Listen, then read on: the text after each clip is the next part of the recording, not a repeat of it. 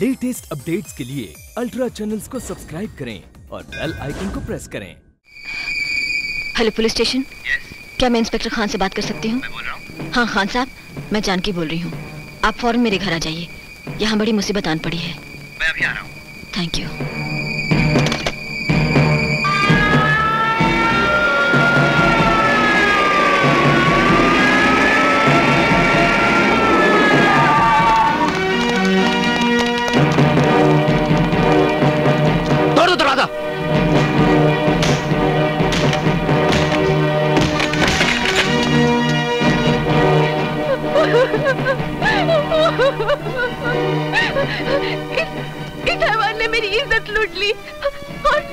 मुझे इसने कहीं का नहीं छोड़ा। आपा।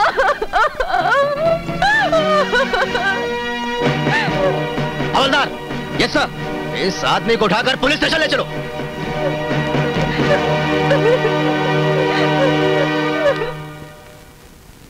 तमाम गवाहों के बयानात और डॉक्टरी रिपोर्ट की बिना पर यह अदालत मुलजिम गिरधारी लाल को एक नाबालिग लड़की सबीना पर बलात्कार करने के जुर्म में आईपीसी की दफ़ा 376 के तहत सात साल कैद बामुशक्कत की सजा देती है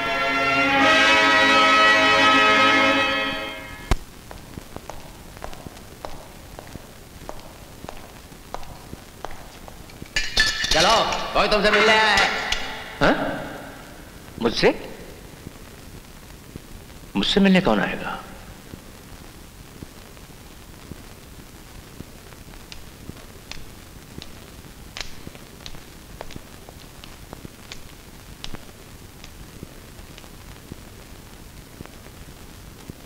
यहाँ तो कोई नहीं है।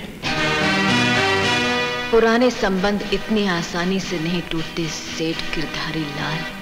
अच्छा अच्छा तो तुम हो। जब से तुम जेल आए हो मेरे दिन रात बेचैन हो गए हैं। यही सोचती रहती हूँ कि गिरधारी लाल जी को जेल में कोई तकलीफ़ तो नहीं। तू मेरी तकलीफ़ के बारे में सोचेगी हाँ? अरे क्यों बेवकूफ़ बना रही है मुझे? तू तो ये देखने आई होगी कि अगर कुछ तकलीफ़ कम हो तो और बढ़वा दो। नहीं नहीं गिरधारी लाल मैं तो तुम्हें खुशखबरी सुनाने आई हूँ। वो जो तुम्हारी बिल्डिंग थी ना वो तोड़ दी गई क्या? और वो तेरी कांदीवली वाली ज़मीन बांद्रा कुर्ला कॉम्प्लेक्स वाली तेरी सारी जायदाद में नीलाम करवा के आई हूँ। कमीनी धोखेबाज खबरदार मैं तेरी जान ले लूँगी। अगर आज मुझे गाली दे तो मैं तेरी जान ले लूँगी। उस दिन वक्त तेरा था। तूने अपनी मनमानी कर ली। लेकिन आज आज वक्त मेरा है। मैं तेरी हर सांस पर पहरा बैठा दूँगी। तेरा जीना हराम कर दूँगी। कोई नहीं आएगा तेरी मदद को। तेरा साया भी नहीं। अपने कुकर्मों को याद करके अकेले ही रोती रहना। तड़पता रहे इन अंधेरों में। सड़ता रहे।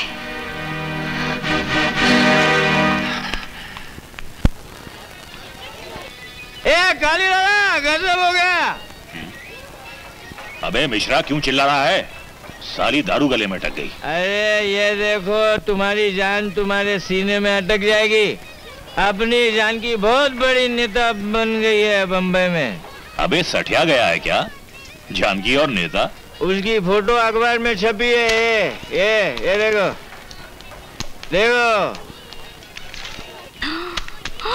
तैयार है? ये तो सच्ची मुच्ची जानकी है। हाँ, हाँ ये तो जानकी ही है। नमस्ते जेठ जी। हाँ। बहू तू? कहीं मैं सपना तो नहीं देख रहा? अरे नहीं रे ये अपनी जानकी तो है। हाँ, हम अभी अभी आप ही के गुन गा रहे थे भाभी। हाँ मुझे पता चला। मुझे पता चला कि आप लोग मुझे याद कर रहे हैं। इसलिए तुम्हें फ़ौरन चली आई। और जेठ जी सब कुछ ठीक ठाक तो है?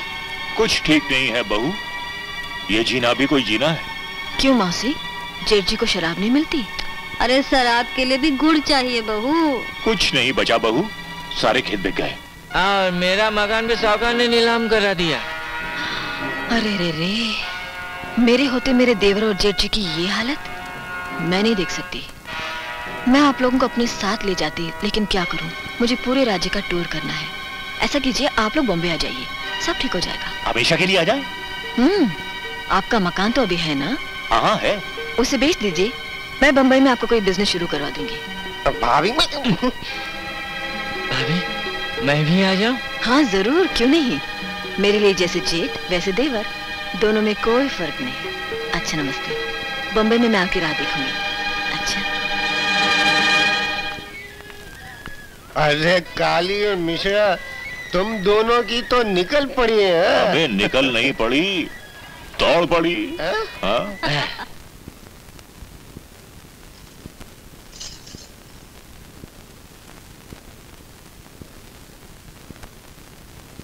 जानकी देवी ओ जानकी देवी ये तीनों भूत आपके बंगले के बाहर खड़े आपका पता पूछत रहे।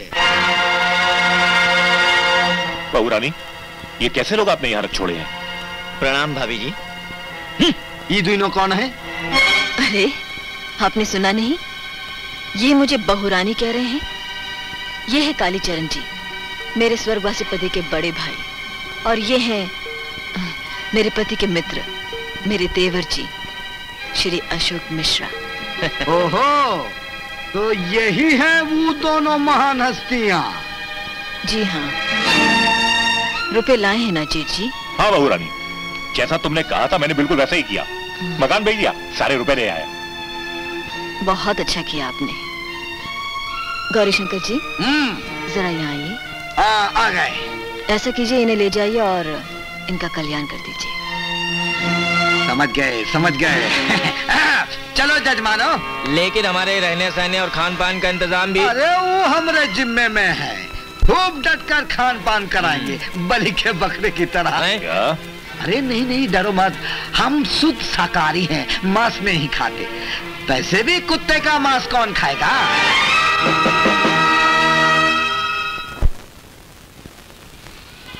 अरे काली दादा कमाल हो गया। ये जानकी ने हमारे सारे गुना भुलाकर हमारे लिए शानदार मिठाई की दुकान खुलवा दी बोलो। अरे अकेली पड़ गई है। जरूरतमंद है। इसीलिए हमको बुलाया है। मतलब कि चिड़िया खुद ही पिंजरे में फंस रही है? हम्म। आइए आइए। ये मिठाई क्या भाव है भाई? ये मिठाई सौ रुपया किलो है। सौ रुपया किलो? हाँ जी। नीचे वाली अस्सी रुपए किलो है। ये। क्यों भाई? महँगी वाली मिठाई नहीं रखते? दो हज़ार रुपए किलो वाली। दो हज़ार रुपया? दो यह हज़ार? कीमत मिठाई की नहीं इस शक्कर की है। इस शक्कर को मिठाई पर लगाओ और बेचो दो हज़ार रुपया किलो। इस शक्कर में ऐसा क्या है? अरे भाई शराब में ऐसा क्या है? जो शराबी घर बेच के पीता है। जलवा है जलवा। हाँ क्या भाव है? अरे छोड़ो भाव को। पहले तुम बेचो कमाओ मैं आके वसूल कर लूँगा भाव। अजीब लोग हैं बंबई के। हाँ, माल देते हैं और पैसे भी नहीं लेते। मैं जरा थोड़ी थोड़ी लगा दूँ मिठाई के मुँह पे ये शक्कर बड़ी महँगी है। क्या भाव लगा मिठाई का? कौन सी मिठाई चाहिए महँगी या सस्ती? महँगी पहले चखने तो दो। मिश्रा। ये ऊपर सफ़ेद क्या लगा है? अरे यही तो है वो। क्या नाम बताया था इस हलवे का? जलवा। जलवा है? जलवा ये लो। चखो। थू है?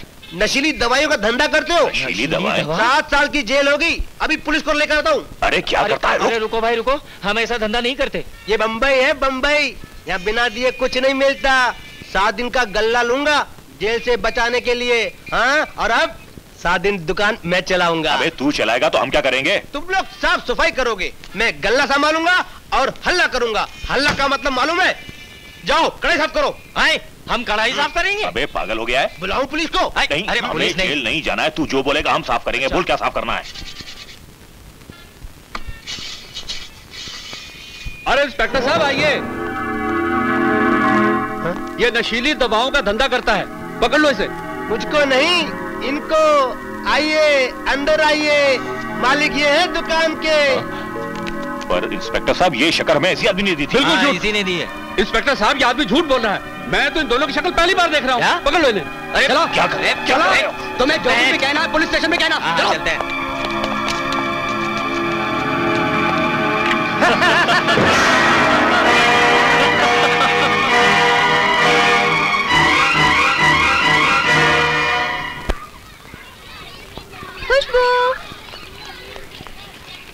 खुशबू? अरे तेरी मम्मी नहीं आई खुशबू? आज ज़रूर आएगी। आज पेरेंट्स डे है ना? आज तो आएगी ही मेरी मम्मी। खुशबू! अरे मम्मी नहीं बिटिया अंकल आए हैं। अंकल! अंकल लेकिन मम्मी क्यों नहीं आए आज पेरेंट्स डे है। मैं उनसे कभी नहीं बोलूँगी। अरे ना बिटिया ना। अपनी मम्मी पर गुस्सा नहीं करते।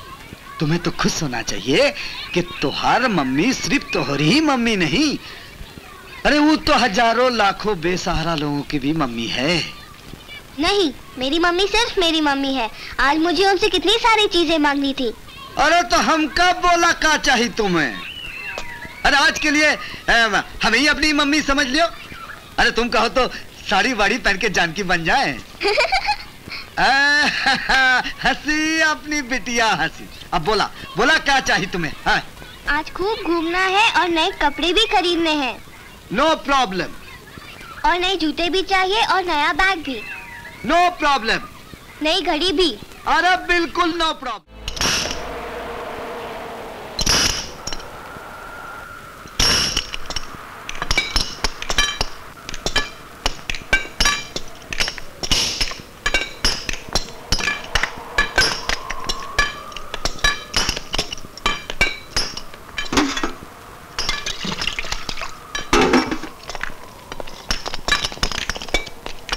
अरे अरे भाई साहब आप यहाँ और इस हालत में? वो औरत तो मुझे मरवा ही देती अगर उसका बस चलता तो। लेकिन तू यहाँ कैसे? तू तो गाँव में था। अरे भैया हम भी एक औरत के सताए हुए हैं। ये मेरे दोस्त हैं कालीचरण। और काली दादा ये मेरे मौसेरे भाई हैं सेठ गिरधारी लाल। बम्बई में एक छत्र राज है इनका। था। भाई साहब वो कौन है जिसने आप जैसे धर्मात्मा की ये हालत की है? जानकी। जानकी? जानकी? तुम जानते हो उसे? पहले सिर्फ़ उसे जानते थे। उसका असली रूप यहाँ पहचाना है। बड़ी खतरनाक औरत है। उसी ने हमारी ये दुर्दशा की है। अशोक मैं जानकी को नहीं छोड़ूँगा। और तुम लोगों को भी तो उससे बदला लेना है ना? मुझे तो उसका खून पीकर ही शांति मिलेगी सेठ जी। तो ठीक है। मैं अपने मुकादम बंसी से कहकर तुम लोगों को यहाँ से छुड़वा दूँगा। लेकिन एक शर्त पर बाहर निकलते ही तुम लोग जानकी को खत्म कर दोगे। भाई साहब, आपकी शान की कसम, हम जानकी को ज़िंदा नहीं छोड़ेंगे। हाँ कल सूरज उगने से पहले जानकी मर चुकी होगी।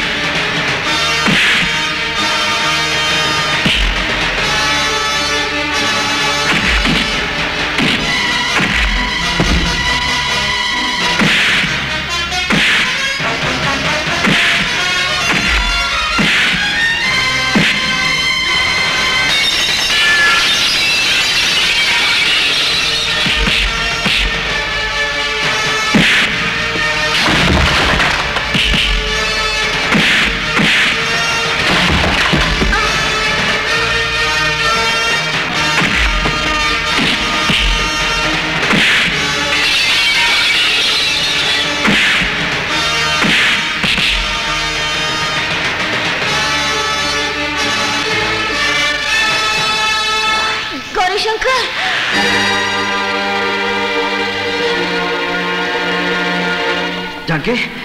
जानकी?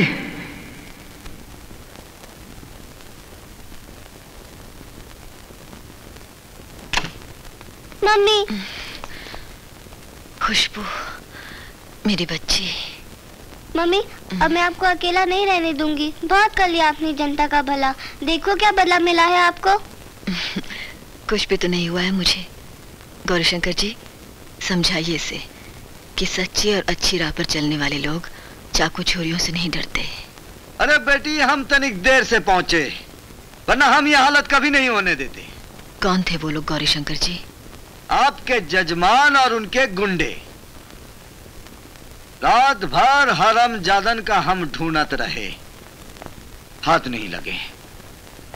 मगर हम उन सालों को छोड़ेंगे नहीं। डूब मरो डूब मरो सबके सब कहीं जाकर डूब मरो। छह आदमी एक निहत्ती औरत को नहीं मार सके। शर्म करो ए शर्म करो। सेठ जी वो हुंडा गौरी शंकर आ गया। वरना जानकी को तो हम मार ही चुके थे। हाँ सेठ जी जानकी को मार ही चुके थे। चूड़ियाँ पहन लो तुम लोग। भाई साहब हम ठहरे गाँव के आदमी। हमें ज़्यादा अकल कहा? अब आप ही कहो हमें क्या करना है। तुम लोग कुछ नहीं करोगे। अब जो कुछ भी करना होगा वो मैं करूँगा। मैं जानकी तुझे तो मैं खुद ही बाहर आकर खत्म करूँगा। कैसी हैं आप? गुड मॉर्निंग डॉक्टर साहब। जानकी देवी दस पंद्रह दिन अभी और आपको हमारी देखरेख में रहना पड़ेगा। अरे काहे कंजूसी करो तो डॉक्टर दो चार महीने और कहो। दो चार महीने? ना बाबा। जानकी देवी जानकी देवी। क्या बात है रघु? बस्ती के मकान तोड़ने के लिए आए गए हैं म्यूनसिपालिटी वाले बुलडोजर लेके।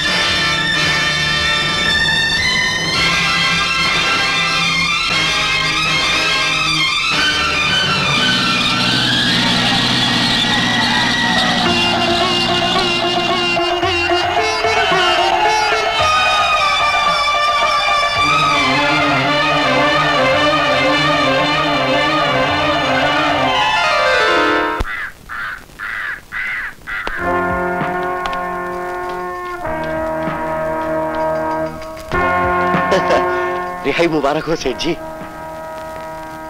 मुबारकबाद उस दिन देना बंसी जिस दिन मैं जानकी को इस दुनिया से रिहा कर दूँगा। हाँ तो हम चाँद पर अपना घर बनाएँगे और फिर जब हमारे बच्चे हो जाएँगे तो ए, रुक रुक रुक रुक रुक। कहा हुआ दादा? अरे ये तो अपनी खुशबू लगत है। साथ में ये छोरा कौन? भौरा ये गोरा गोरा छोरा तू है। भौरा लगत है, हैं? हम खुद ही पता करत हैं।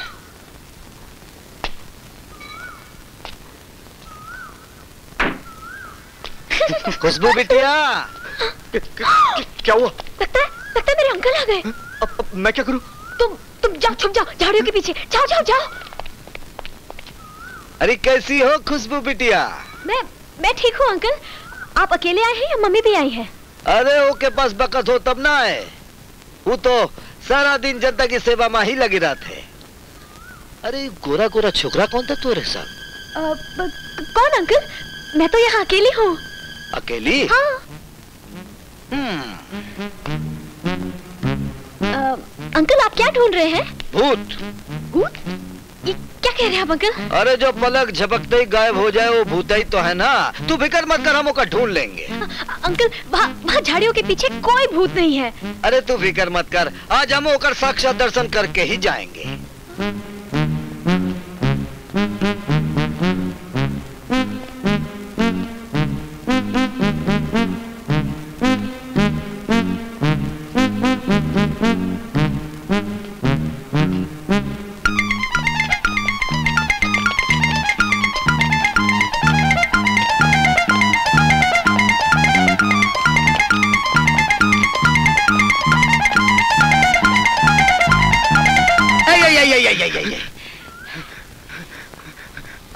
तो भूत नहीं हमारी तरह मानुस है। अरे इतने लंबे चौड़े तगड़े खूबसूरत नौजवान हो। ये बताओ हमसे डर के भाग काहे रहे थे जी, जी, मैं नहीं डरा था अंकल। ये खुशबू आपसे डरती है। इसीलिए तो मुझे कहा था कि झाड़ियों के पीछे छुप जाए। चुप रहे। और तुम मान गए। ज़िंदगी भर हमारी बिटिया की बात मानोगे? जी अंकल। का नाम है तुम्हार जी मनीष खन्ना। बम्बई में जो सिल्क मिल के मालिक मालिक है ना जतिन खन्ना उन्हीं का बेटा। अरे तब तो कोनो फ़िक्र की बात नहीं। है? ये देखो भैया हमारी तरफ़ से तो तुम दोनों की शादी पक्की। ये हमारी तरफ़ से मीठी मीठी बधाई। ये खुशखबरी तो हम जानकी को ज़रूर देंगे। ए, और सुनाओ एक हफ़्ते के बाद हम जानकी को साथ लेकर तुम्हें लेने आएँगे। तैयार है ना अच्छा अंकल।